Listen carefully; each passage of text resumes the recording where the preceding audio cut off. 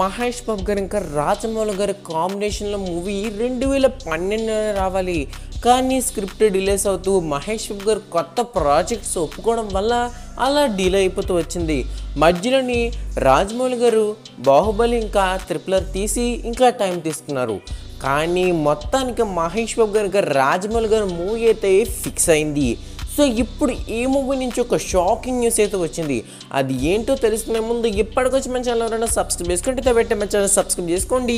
ఇంకేం చేయకుండా టాపిక్లకు అయితే వెళ్ళిపోతాం మనకి తెలిసిందే మహేష్ బాబు గారి మూవీస్లో బడ్జెట్ చాలా ఎక్కువగా ఉంటుంది. ఎందుకంటే తన రెమ్యూనరేషన్ చాలా ఎక్కువ ఉంటుంది. రెమ్యూనరేషన్ ఎంత ఎక్కువ ఉన్నా కలెక్షన్స్ మాత్రం అది హిట్ అయినా ఫ్లాప్ అయినా పెట్టిన బడ్జెట్ రికవర్ చేస్తుంది.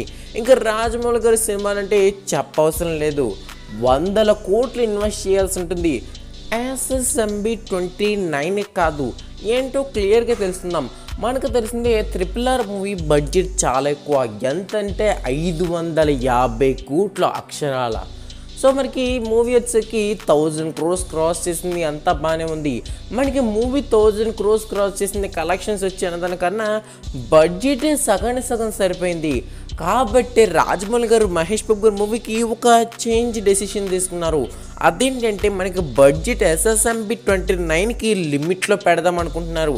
బడ్జెట్ ఎంత తక్కువ ఉన్నా కలెక్షన్స్ అయితే వచ్చేస్తాయి. అందులో ఎలాంటి డౌట్ లేదు. కానీ ఈసారి ఎక్కువ బడ్జెట్ పెట్టకూడదని అయితే అనుకుంటున్నారు. సో మరి చూడాలి ఈ బడ్జెట్ ఎలాగే ఉంటుందో ఏమైనా పెరుగుతుందా అని. సో ఈ అప్డేట్ మీద మీరేమనుకుంటున్నారు? కింద కామెంట్ చేయండి అలాగే వీడియో మీకు నచ్చినట్టయితే లైక్ చేయండి షేర్ చేయండి ఇంకా సబ్స్క్రైబ్ చేసుకోండి. సో బై ఫ్రెండ్స్ తరగని యూట్యూబ్ ఛానల్ జై హింద్ బాబాను